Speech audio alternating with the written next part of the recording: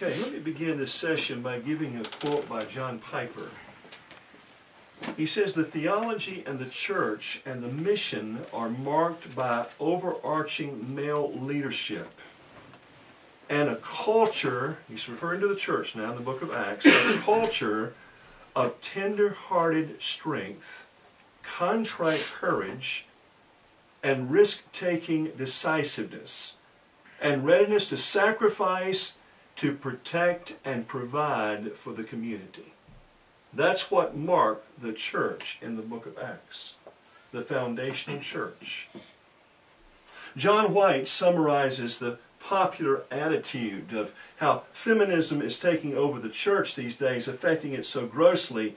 But he makes this comment. He says, A devastating criticism of Christianity is many men see it as not only irrelevant, but also as effeminate. And this is the effect of unsaved men when they look at the church and they see the church being feminized.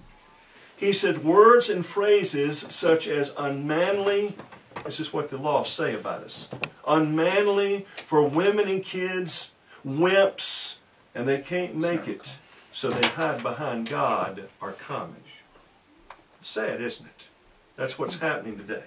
And this is why many people cite why so few men are being converted today is because that's the view they have of the church. So, with that in mind, what is Christian masculinity? Gentlemen, I want to speak in the next few moments on uh, whatever happened to Christian masculinity. If you would take your Bibles and turn to the first book of the Bible, the book of Genesis. All right, if you would, look with me here in Genesis 2. And just for the sake of time, if you would, notice number 15, verse 15. Uh, God puts the man in the garden, and notice that he has a twofold purpose. Then the Lord God took the man and put him in the garden of Eden, two things to tend and to keep it, to tend it and to maintain it, to watch over it. The old King James says it like this that the Lord God took the man and put him into the garden of Eden to dress and to keep it. So, what is the twofold purpose that God has given you and I as men, as stewards over our family? To nurture and to protect. To nurture our wife and children and to protect them. And this is what I train my girls to look for in a future husband. And I'm thankful for my two sons in law that they're not only very sensitive in nurturing spiritually as well as other areas my daughters, but also protecting them from anything, any ism that could ultimately hurt them spiritually or hurt them in some way morally. Woodrow Kroll said, Many men no longer know what it means to be a man. Now, God gives these two qualities, gentlemen, in the text that convey masculinity and they are the words nurture and protect. We are to cultivate growth. In other words, we're to be a stimuli to stimulate growth in our wives and daughters, and we are to protect or be shields or guardians of them. We're to cultivate growth in that which is, which we have been given stewardship over, and to defend it. In other words, if we could kind of sum it up in these two words, we are to be gardeners and guardians of our home. Uh, gardeners, in that what we do is we provide the resources as well as the encouragement and the example to nourish our family spiritually. And then we are to be sentries on the wall to protect against anything that could be damaging to their soul or lead them to apostasy. So, what does this mean? Rick Phillips says a real man is not a self serving adventurer, but one that makes things flourish in the safety of his care and under the cultivation of his, listen, loving hand. Biblical masculinity, gentlemen, is an embracing of God's design and creation to nurture and to protect. And it encompasses the man's choice to lead, mentor, and provide for his family. Now, what do I mean by these things? Let's just make it very practical here. When I use the word lead there, that suggests vision and consistency. Let me ask you, I mean, are you a visionary? Some men are very prone to that. They have a propensity toward uh, being a visionary, but, but all men need to have a blueprint for their family. You know, somebody said years ago that if you shoot at nothing, you'll hit it every time. And, and, and and here I am in a teenage boy's room who God has saved and called to be a missionary, and he's got a timeline on the wall where he projects finishing school, finishing his training to be mentored in spiritual things and mission work, and then his launch date to go to the mission field. Now, he, he, he's the type of young man that, that he would just yield to the Lord if God changed any of that. But, but he had a plan, he had a goal. And I want to ask you now, what are your objectives for your family? Maybe if you're a single young man, what's your objective as far as marriage is concerned? What are you looking for in a woman? What do you foresee as the future? What are the questions you ought to ask a potential dating partner that will determine whether you ought to proceed to the next level in entering into a courtship with her and ultimately marriage? You see, we desperately need to be men that are visionaries because this is a part of leading. But we also need to be consistent in our homes as men. A consistency. Listen, uh, hypocrites never won their, their family's hearts to Christ. And I ask you, are you as consistent in the way you live as you are in waxing eloquently when you share your theological perspective on things from the Scripture? This is huge. It's huge. Jesus said to the Pharisees, He said, he said, They say and do not, do not after their works. And hypocrisy, you know, just brings down many a good intention when it comes to rearing our families for Christ. Another thing is being mentors. We mentor by example and we mentor by talking to our family. You know, most of us men, uh, we're not conversationalists when it comes to talking to our wives or our kids. I was just reading some of our heart cry reports. I have about 32 missionaries in Eastern Europe right now, in Romania and Moldova and the Ukraine. And one of them said the other day, said, you know, just pray for me because I, I become disattached when my, when my little girls want to talk to me. I'm so preoccupied with ministry and preoccupied with my agenda. And when they want to come and talk to daddy about something, you know, I, I just look at them, but I'm not, I'm not connected.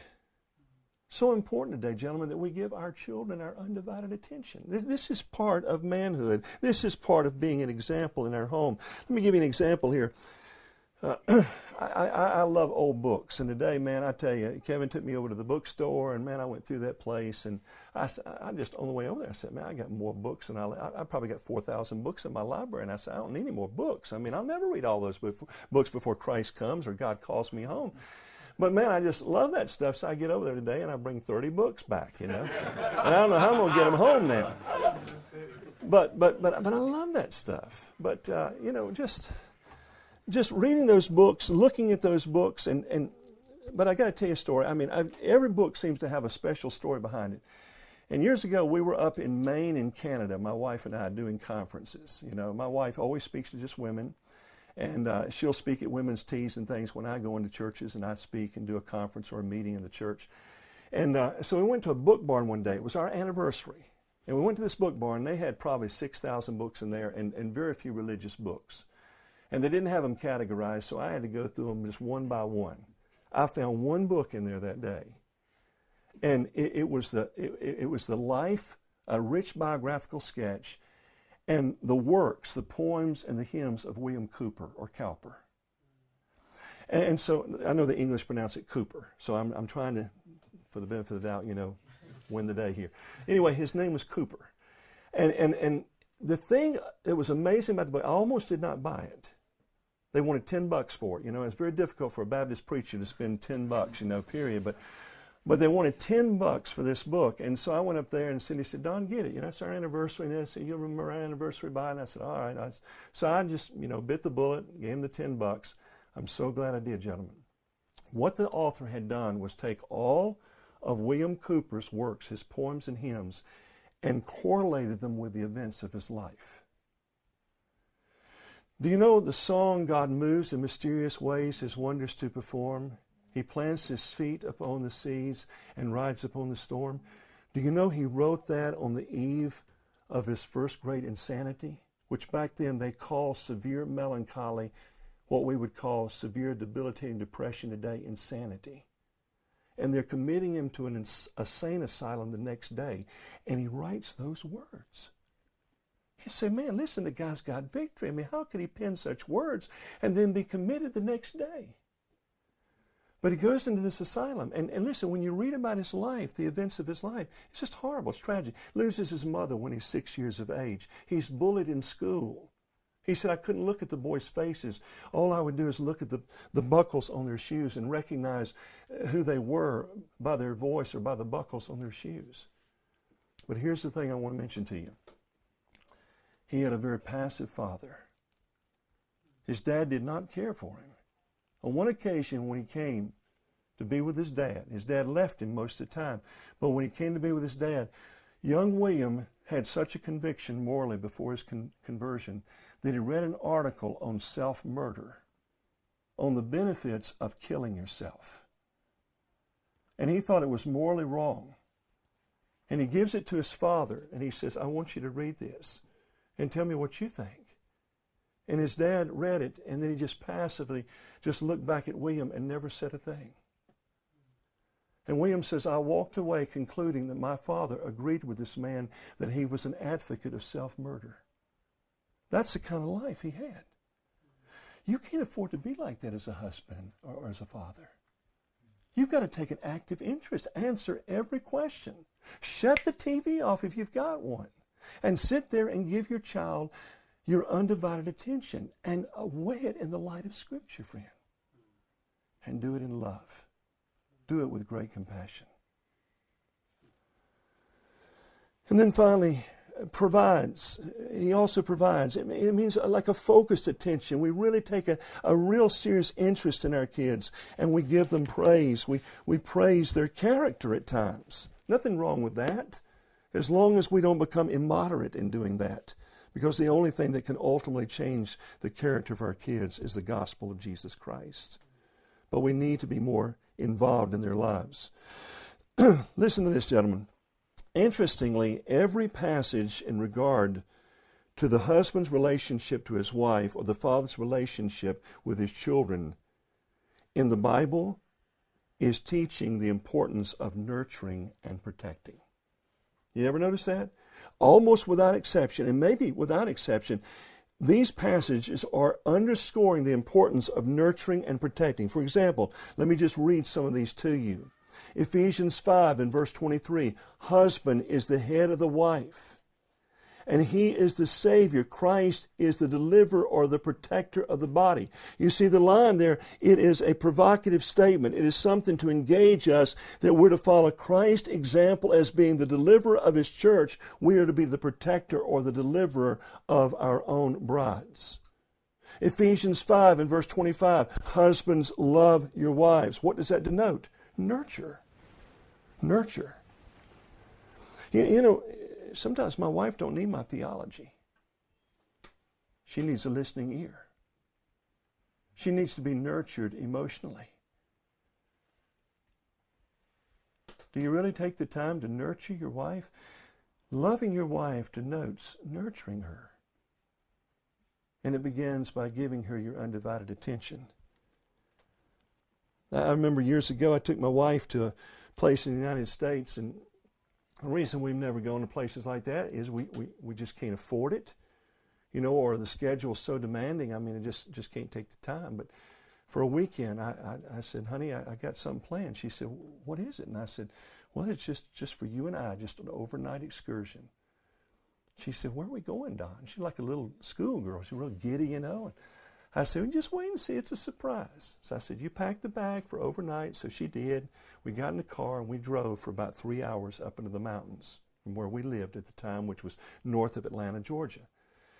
And so she kept asking me, said, where are we going? What are we going to do? And I said, it's a surprise. Just hang on. So we got up there, and the weekend we went to this this place. I don't know if you've ever heard of it or not. It's called the Biltmore House in Asheville, North Carolina. It's just a beautiful, you know, kind of a the architecture, I mean, Lord Biltmore came from England, you know, built this monstrosity of a palace there outside of Asheville, North Carolina. And, and so we had a package deal. You know, we stayed at a motel nearby and had supper together and went to this place. And I tell you, gentlemen, we went through that whole thing. And you say, well, man, wasn't that a little bit costly? Well, I got a great deal on it. And I'm so thankful I spent the money because let me tell you something. We had begun to drift emotionally apart. We'd still talk to each other, but everything was kind of business as usual. But we were drifting apart emotionally. The respectability as a result of that, the emotional bond revived. The respectability, the love, the intimacy once again surfaced in our relationship as a result of just that little overnight excursion. We lived off of that for months down the road. And I found out that, listen, nurturing my wife is more than just teaching her theology. Sometimes she needs my time to really just fill up her emotional tank. It's very important. I think this is included. I mean, do you think Christ just dispenses theology to us as his bride? No, friend, listen, he cares for us. He's ministering to every facet of our emotional being or our physical being. Uh, listen to the others. Ephesians 5:26 that he might sanctify and cleanse. It speaks there once again of nurture. Ephesians 5:27 that he might present a glorious church that is holy and without blemish. It refers to nurture, helping one to grow spiritually. 1 Peter 3 and verse 7 Husbands, dwell with your wife according to knowledge, giving honor to her. What's that denote? Nurture again. Nurture. I'm nurturing her. Psalm 128, verses 1 and 3 Blessed is the man who fears the Lord. Notice the outcome of that. The fruit is that his wife is a fruitful vine, and his children are as olive plants around the table. This is the product of nurture again. You see that? So, so understand tonight, if you don't get anything else, remember these two things. I mean, if God's called you to be a husband, your twofold duty is to nurture and to protect, to be a guardian and a gardener of your home. I want to give you some marks of Christian manhood just in passing. Some marks of Christian manhood. And let's just once again list them under those two principles, and that is nurturing and protecting. First of all, we if we intend to nurture our wives, we must learn to be leaders. We must learn to be leaders. Ephesians 5 and verse 23 Husband is the head of the wife, as Christ also is the head of the church. This denotes initiative, gentlemen. To take the initiative, to, to seek the mind of God, to search the scriptures, to, to properly relate to our wives, that we might lead them by our example. Loving her also is a part of nurture. Ephesians 5 and verse 25. As Christ also loved the church. I mentioned a while ago, our problem is not that we don't love our wives. Most of us is that we don't love them as Christ loved the church. And I ask you, here's another aspect of loving the church is, is Christ praises her. I ask you a question, friend. Since you've come into the kingdom and your understanding of truth, do you ever find where once you've been savingly joined to the Lord Jesus Christ that he ever speaks derogatory or negatively of his bride? It's interesting. Let me give you this example. You remember there in Matthew chapter 11, John the Baptist? And he sends his disciples who question the character of the Lord. Are, are you really he that is to come, or should we look for another? You remember as they part company and Christ has just told them who he is and what he's done, that he is truly the Lamb of God that takes away the sin of the world. That as they part his company, he looks at those in his presence and he says, There is none that's been born of women any greater than John the Baptist. What did you go out to see? A bruised reed? A broken reed? No more than a prophet. He commends and praises John. And see, the thing is, I think if there's one thing we men are deficient in, is praising our wives. Praising our wives. I'm not, I'm not saying necessarily praising them in the congregation. Sometimes that's fitting. Sometimes it's fitting to, to, to talk about your wife and just how thankful you are before others. But I know most of us feel like, well, they'll think we're really bragging on us because we got such a great wife. But listen, here's the point. Do you in private say, honey, I want you to know I thank God for you? I'm so thankful. I mean, God gave me exactly what I needed. Can I tell you something, men? God has raised up my wife. My wife is not a prophet, except when she deals with me. And she's a gentle prophet. She comes to me and lovingly appeals to my conscience. And she'll question me about things, or she'll bring things up that I've just totally overseen. And I'm so grateful for that. She's exactly what I needed. There have been times when I've questioned that if I really needed this kind of woman or not. But I look back, friend, and I'm so grateful for the gracious provision of a good and glorious God. So we've got to take that in consideration. We are to be transparent, to be leaders, to be Christian men. We need to learn to confess our faults one toward another. Can I ask you a question? When's the last time your wife and children saw you get radically transparent and confess where you really were spiritually. Honey, I am so needy. Man, here lately, I'm telling you, I have really battled in my devotional life.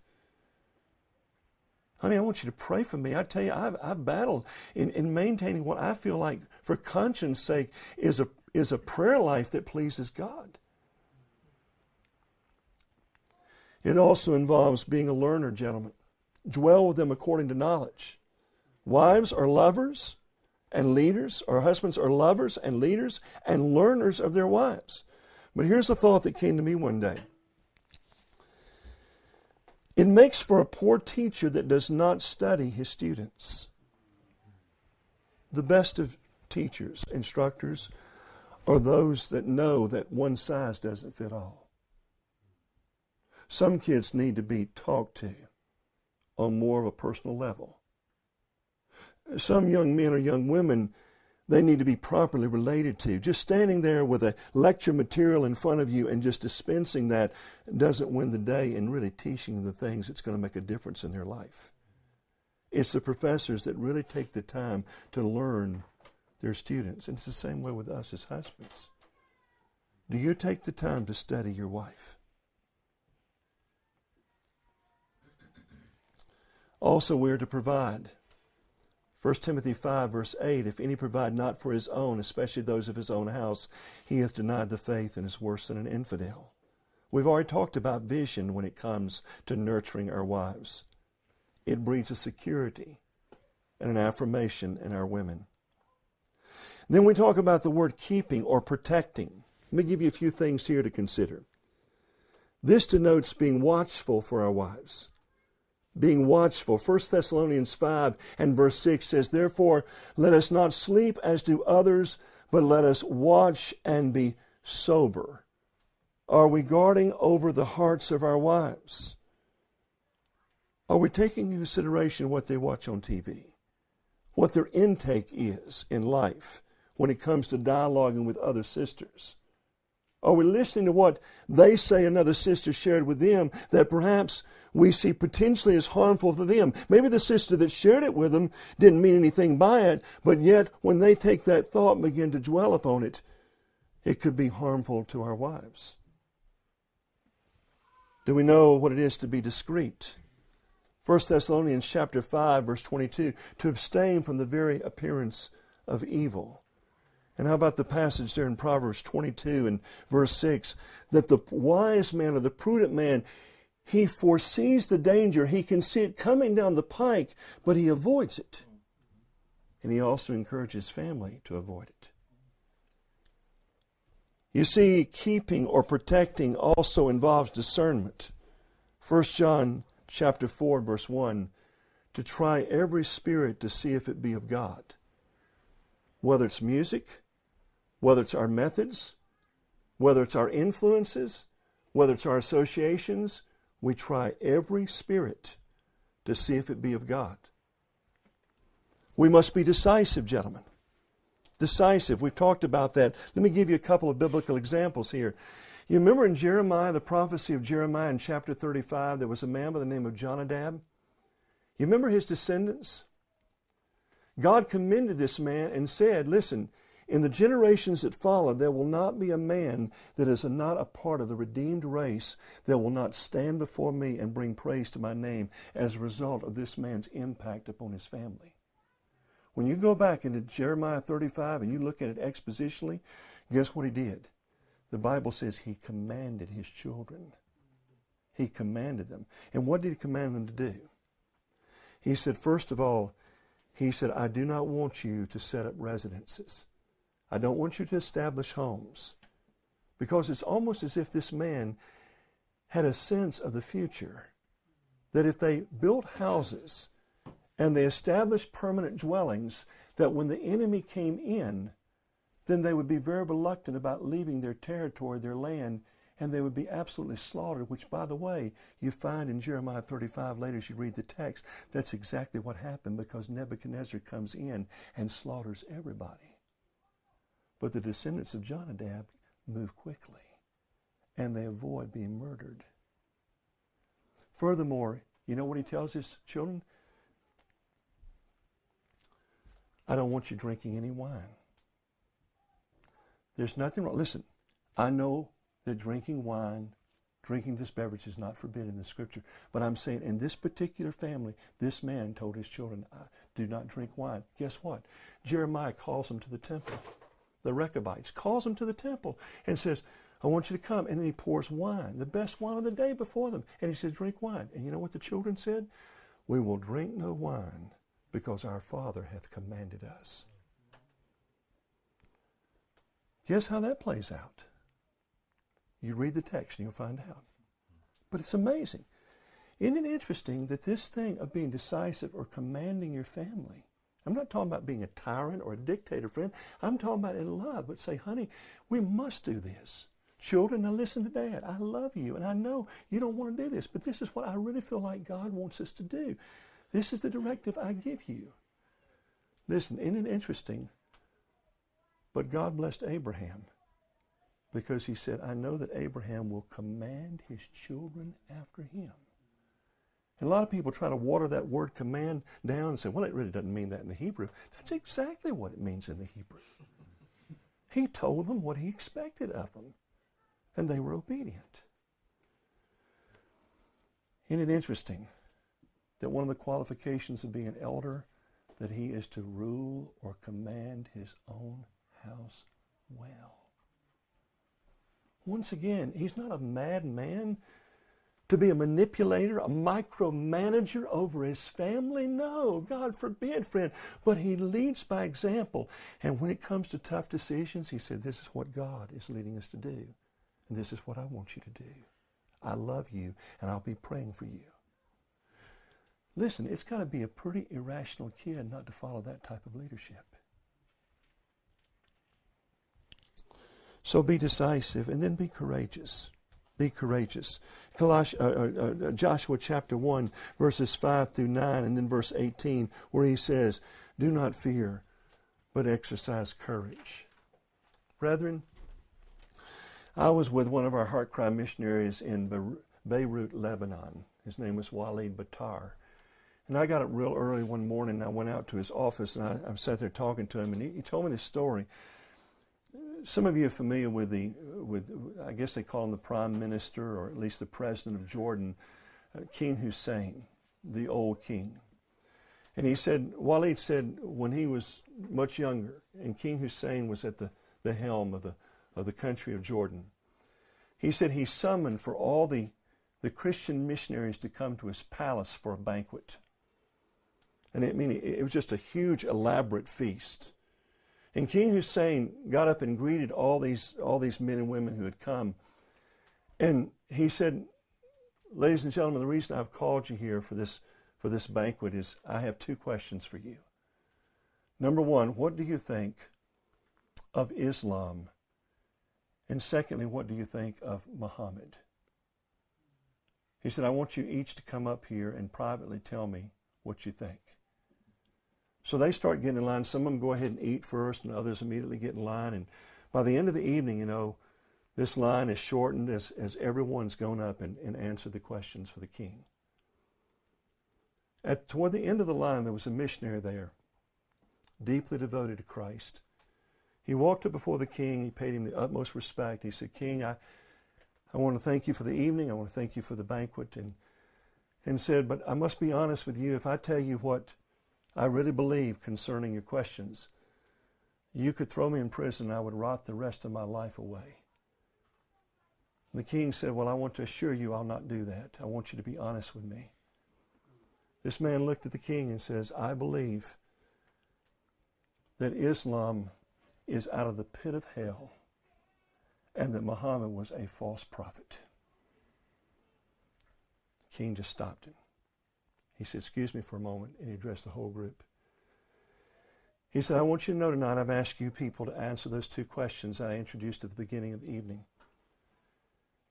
This is the first man, in my opinion, that has told me the truth. As far as I'm concerned, all of you have done my people no good. And he commends this man in front of these others. Can you believe that? Being bold, but with the right kind of spirit, friend. God can use greatly in the context of biblical manhood. Let me just move real quickly here. We, we could look at two models of Christian manhood, and by the way, this would be a, an excellent study for you. I mean, you'd benefit greatly. I mean, it would it would make your own walk with God so savory, especially when it comes to this thing of, of biblical manhood. But consider the examples of John the Baptist and John the Beloved, balanced men when it came to manhood. Listen to this. Let me just highlight a few things for you. John the Baptist, a picture of self denial. Matthew 3 and verse 4, a raiment of camel's hair and a leather girdle, and his meat was locusts and wild honey. He was courageous, emboldened in the work. Matthew 14 and verse 4, Herod had taken Herodias, Philip's wife's brother. And the Bible says, For John said unto him, It is not lawful for thee to have her. Speaking of an epistle of boldness, brethren, in Luke 3 and verse 7, John the Baptist heralded out this message. He said to the multitude that came forth to be baptized of him, O generation of vipers. He was a humble man, though. In Mark 1 and verse 7, there cometh one mightier than I after me, the latchet of whose shoes I am not worthy to stoop down and unloose. He must increase, but I must decrease.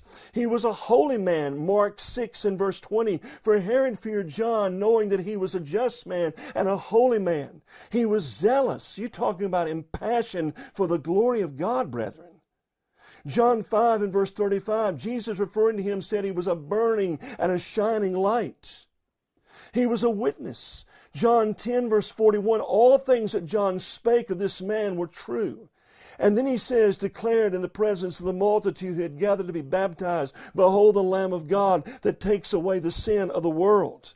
He was a man that consistently practiced fasting. In Matthew 9 and verse 14, John and his disciples fasted often. I was so humble one day as I read one of our gypsy missionaries' report, his monthly report. At the beginning of every year, he and his church, they go on a 40 day fast. A 40 day fast. Now, I asked later if they fasted 24 hours for 40 days. Oh, no. But we fast one meal for 40 days at the beginning of the year to seek to obtain the blessing of God. This man was faithful unto death, John. Matthew 14, verse 10, it says, And he sent and beheaded John, referring to Herod. How about John the Beloved, brethren? You're talking about balance. Think about this. Uh, Mark 3 and verse 17, he was one of the sons of thunder. Mark 9:38 says, And John answered him, saying, Master, we saw one casting out devils in thy name, and he followed us not. And we forbade him, because he followed not us. He was a lover of Christ. John 13, verse 23. Now there was leaning on Jesus' bosom one of his disciples whom Jesus loved. He was a lover of people. How about it?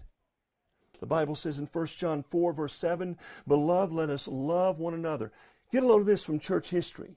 Eusebius said that by the end of John's life, he had simplified his message to one gentle command Little children, let us love one another. Little children, let us love one another. He said this everywhere he would go. Apparently, whenever he was asked to speak or comment, that was his chosen statement let us love one another. When asked about it, he responded that everything else necessary would be taken care of if that one command would be faithfully carried out. He was a contender for the faith. The Bible says in 1 John 3, verses 7 and 8, Little children, let no man deceive you. He that doeth righteousness is righteous, even as he is righteous. But he that committeth sin is of the devil. Bold. But he was devoted. Christ entrusted his mother to him. How about it?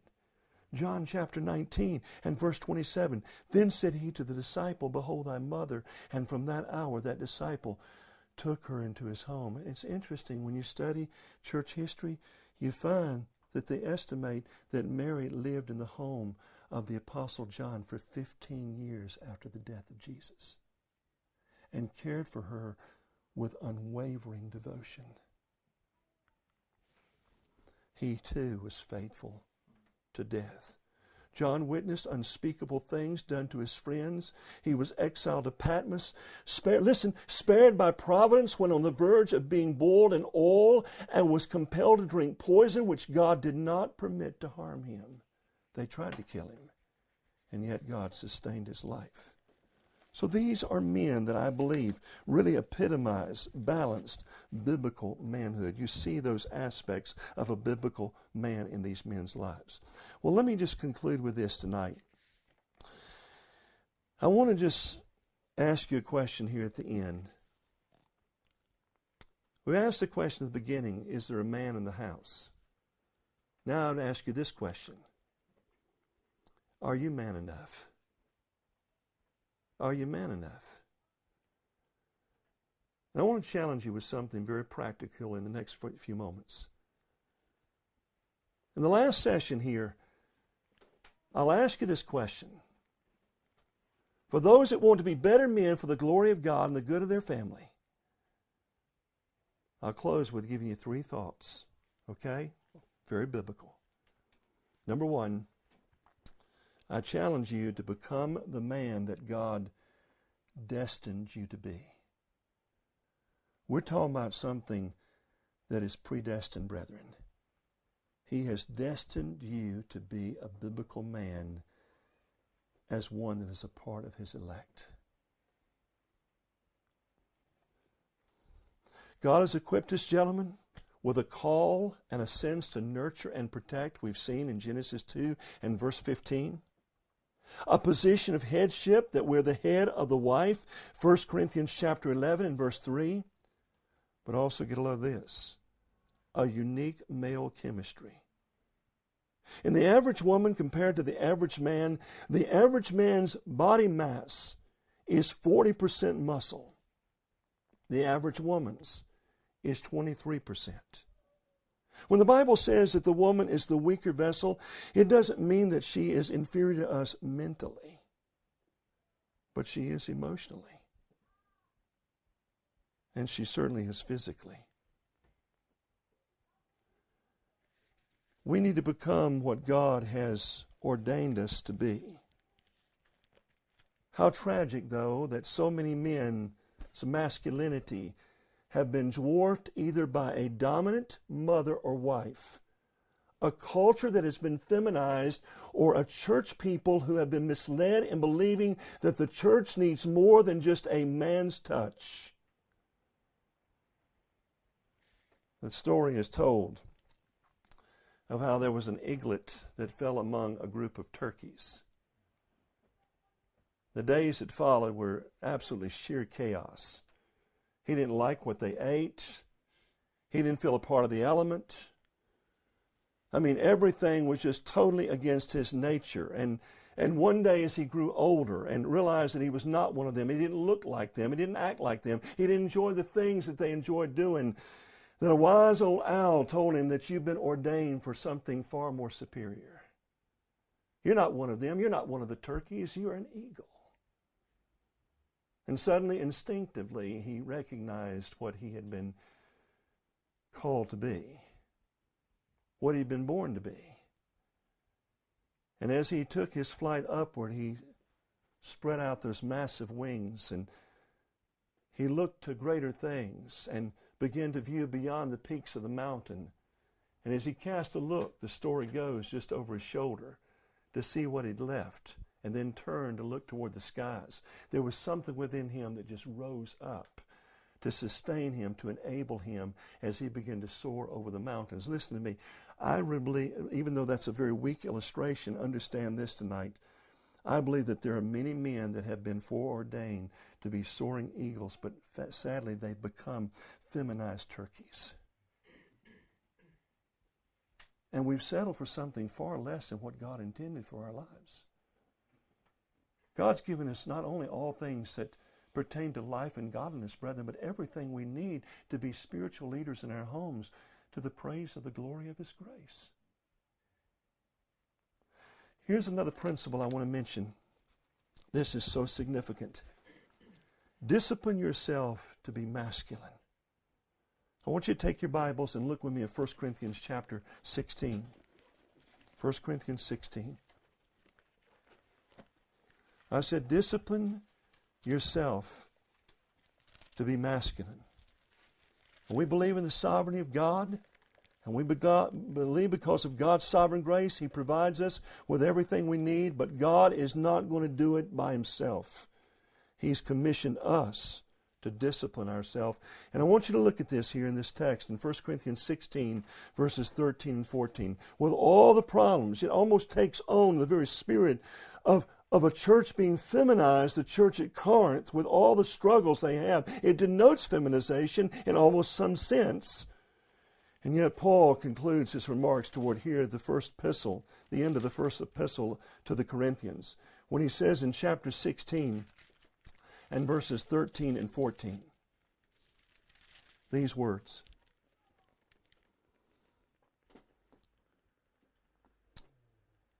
Watch ye Stand fast in the faith. Quit you like men. Be strong. And let all things be done with charity. Now, gentlemen, there are five disciplines there that are worth us emulating. Five disciplines. What do these mean? You'll notice when he says here in the middle of those exhortations, Quit you like men. What does this mean? Now, this is what I'm reading. I think this is the King James Version here. The New King James says it like this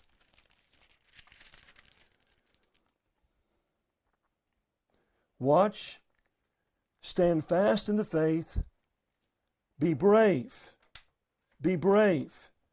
Then he says, Be strong. Let all that you do be done with love. What does that phrase there mean in the New King James to be brave, but in the Old King James, quit you like men? It means to show oneself a man. It means to man up, to be bold and brave, not be a coward, not be timid or alarmed at enemies. We have a similar phrase, gentlemen, in common use. What do we say to brethren at times? Be a man. Man up. Don't be cowardly. Don't be a wimp. It's interesting. Very striking stories in 2 Samuel chapter 10. You remember David feels like I'm going to show how much I appreciate Hanun or Hanun's father what he did for me and my men when we were under the assault of Saul. And the scripture says that he sends men out just to express on the behalf of David his sympathy over the death of his father. The scripture says that Hanun's father, followers, they said, hey, look, David's not here to really express sympathy. I mean, he's not sincere. He's coming in to spy out the land.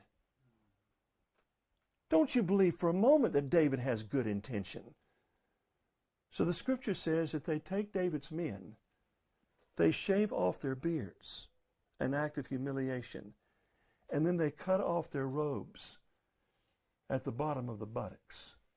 which was the ultimate humiliation.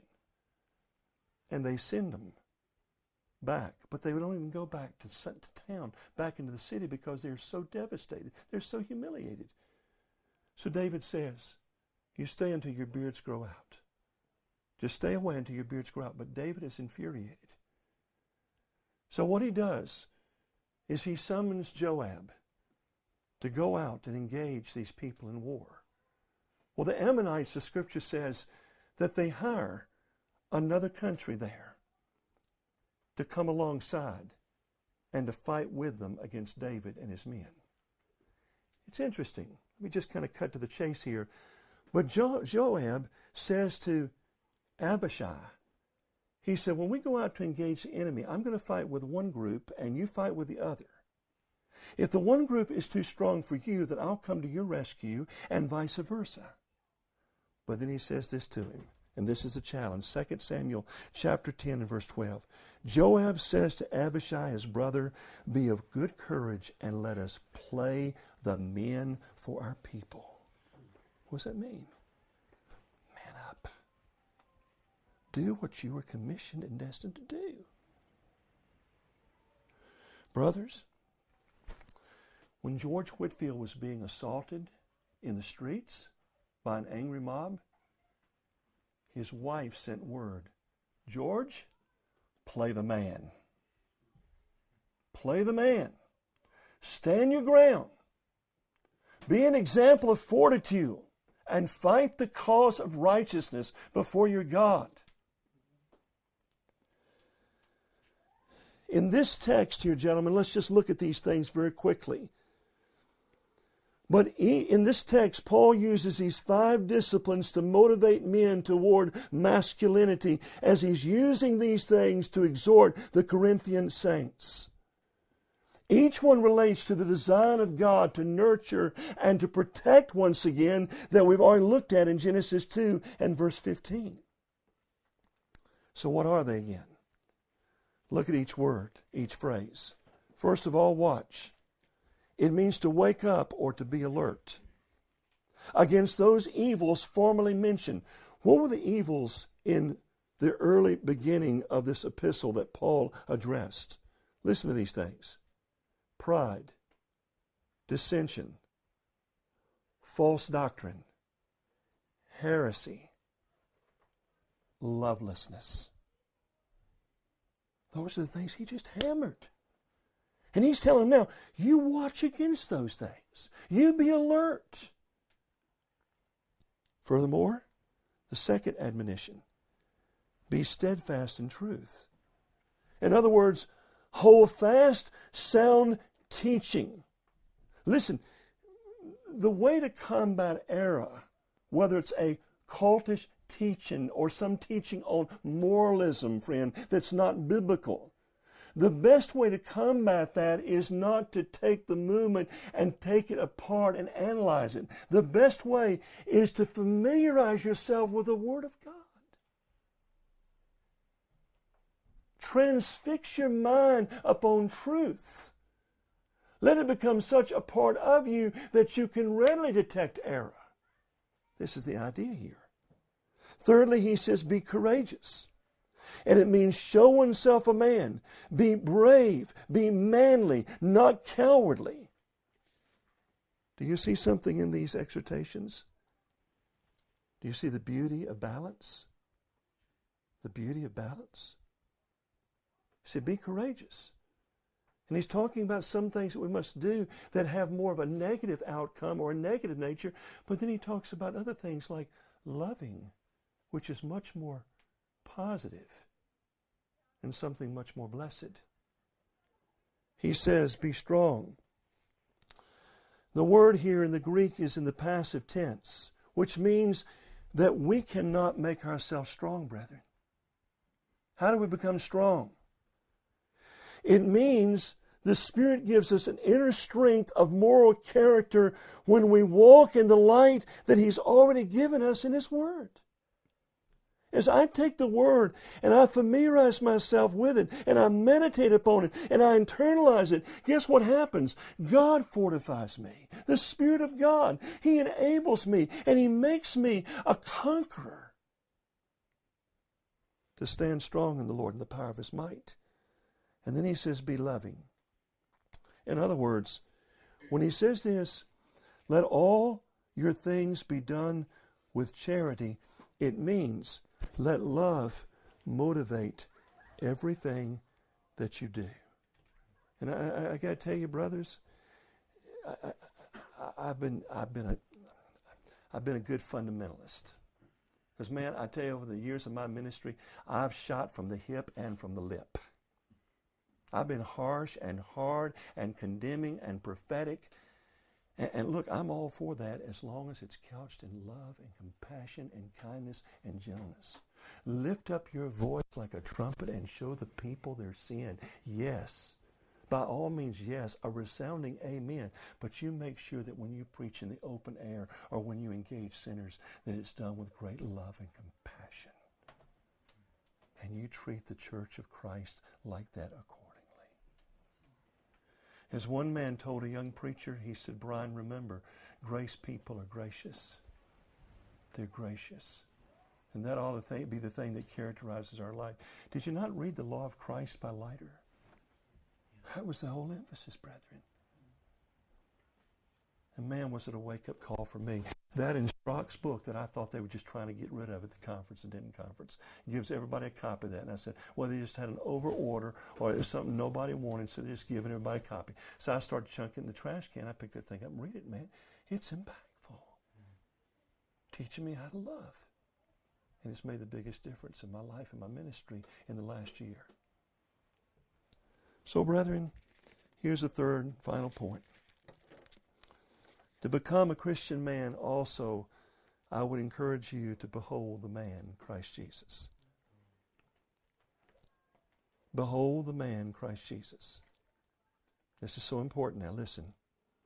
2 Corinthians chapter 3 and verse 18. But we all with open face, beholding as in a glass. What's the glass? It's the Bible, the Word of God as we behold. It means to gaze, not glance, not glance upon Christ, not just read casually, but we take the time to meditate upon the Savior as we're reading the Scripture. Guess what happens? We are changed into that same image, that same character, that same person of Jesus Christ, even as by the Spirit, from glory to glory to glory to glory, even as by the Spirit of the Lord. You want to become a biblical man? Look at Christ. Behold Jesus. Contemplate his character, his counsel, the way he dealt with people. It was never one size fits all. It was never the same way with every person. Contemplate this Savior. Because in so doing, the promise is God says, I'm going to conform you to that same image by my Spirit. Listen to this. In our country, in, in, in New Hampshire, there used to be a rock formation called the Old Man. And Nathaniel Hawthorne uh, was inspired to write a story about the old man of the mountain. It revolved around a young boy whose name was Ernest, who was told by his mother that there would come the fulfillment of an age old prophecy that one day a man would be born that in adulthood he would look like the old man of the mountain. And so they waited and waited, and four men came, and they thought that this was the fulfillment of the prophecy, but they never bore the resemblance in adulthood of the old man. In the meantime, this young boy, Ernest, every day felt unusually drawn to gaze upon the countenance of that rock formation, imagining himself as a special object of its love and affection. When you know it, in adulthood, he not only bore the resemblance of the old man in physical appearance, but also in its disposition, its character, one of resilience and courage and stability. You see, he beheld to become. Same way with us, brethren. I'm telling you, the best way to become more like Christ is not saying, I got to start doing this. I got to come up with my 10 step formula. I've got to quit doing this over here. I got to associate with this side here. No, listen, the best way to become like Jesus is to behold Him in the Scriptures. You fixate your mind upon Him daily. Perhaps this is something, a practical implication relating to that verse of Scripture when Jesus said, If your eye be single, your body is full of light. If He's the object of our eye, our spiritual eye, this is the greatest thing that we could ever do to see the work of the Spirit in transforming us into that same image.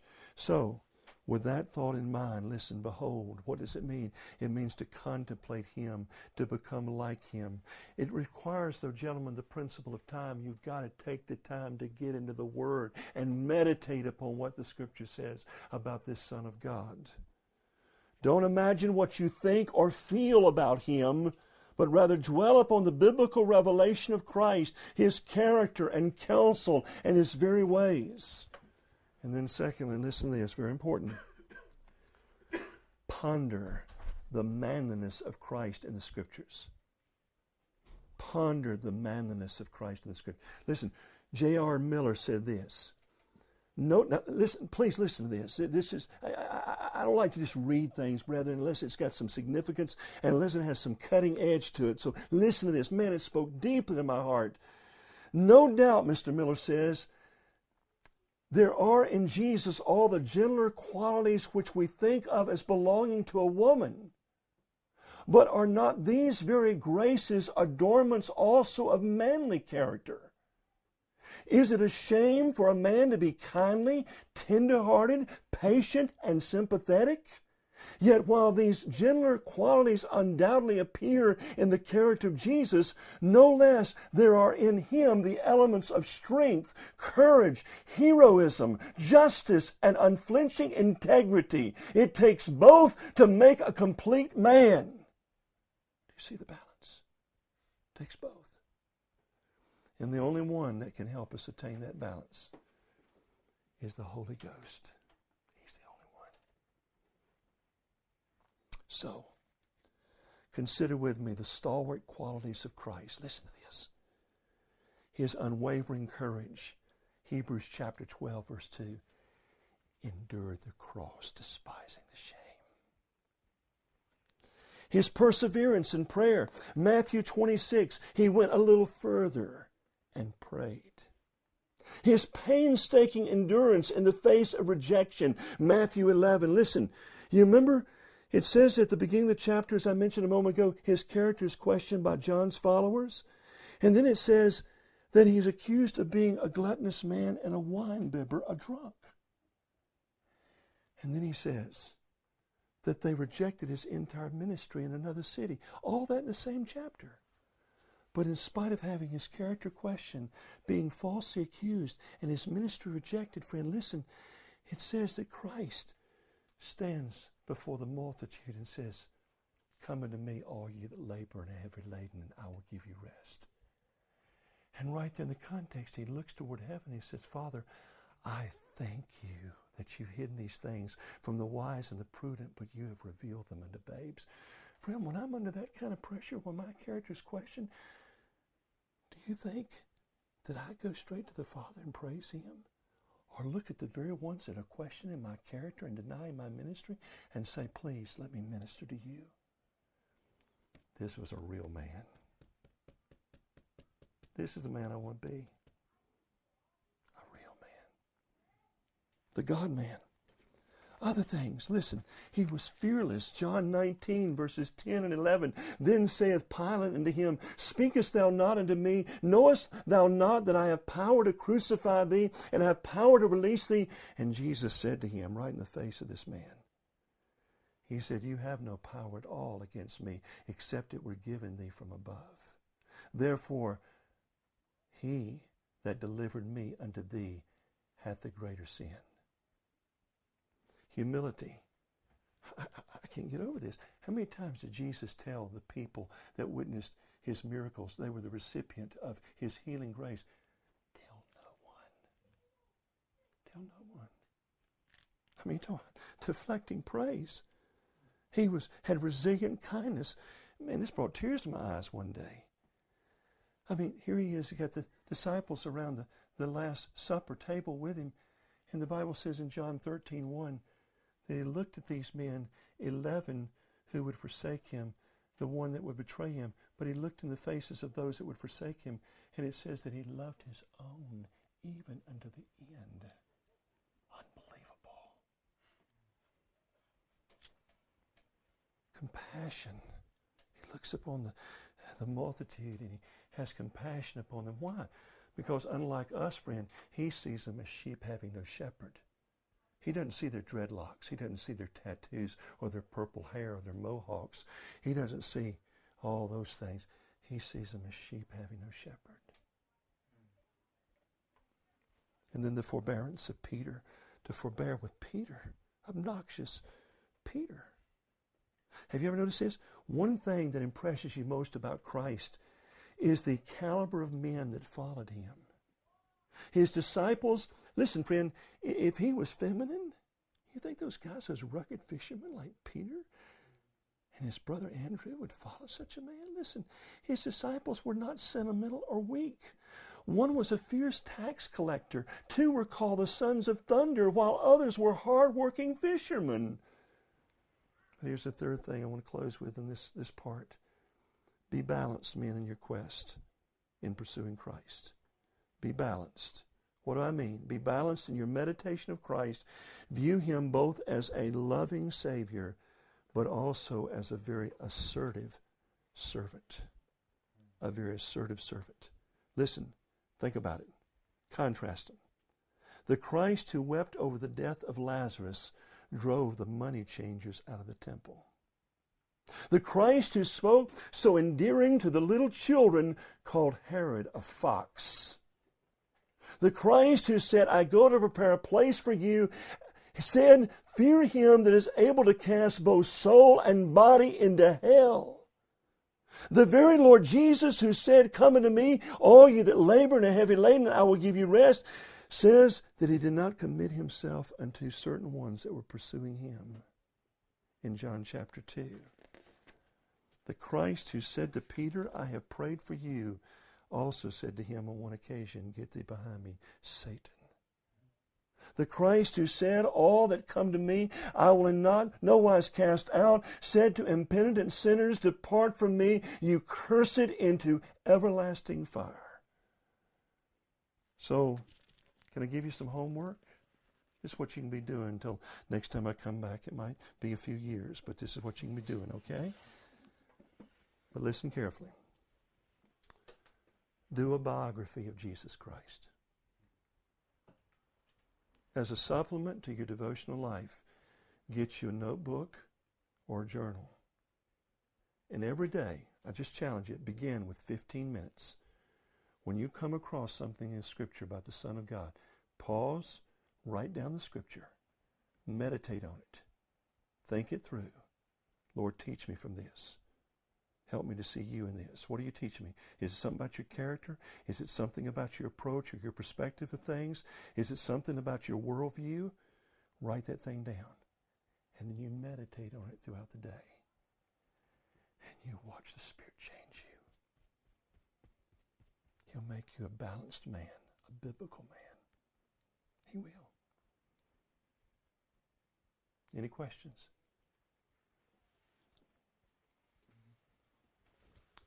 Let's pray together.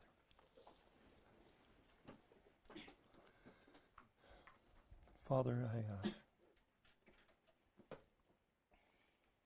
Lord, I feel like I've just embarked on this very, very uh, challenge, this very discipline, Lord, that I've issued to these men. But Lord, I'm so grateful for what you're doing in me, Lord. Lord, I do want to be more like Jesus. And Lord, I pray for these men that there would be such grace that would explode in their hearts, that they would long and be driven to be God besought men. And even as the theme of the weekend, Lord, which is very appropriate, to be gospel driven men. Lord, is there anything that, that better motivates us than the atonement Lord, I pray that you would, by your Spirit, give us more and more glimpses into the beauties and the glories and the realities of the atoning work of Jesus Christ. As Spurgeon said, uh, may we learn to, to, to plumb the depths of Calvary. Lord, please help us. And may, Lord, we, we become so immersed in the person of Jesus, the knowledge of Him, and what He has done on our behalf, Lord, that we will never find any break in our motivation to serve the God of all wonders. We bless your name, Lord. Thank you. Thank you, Father. In Jesus' name.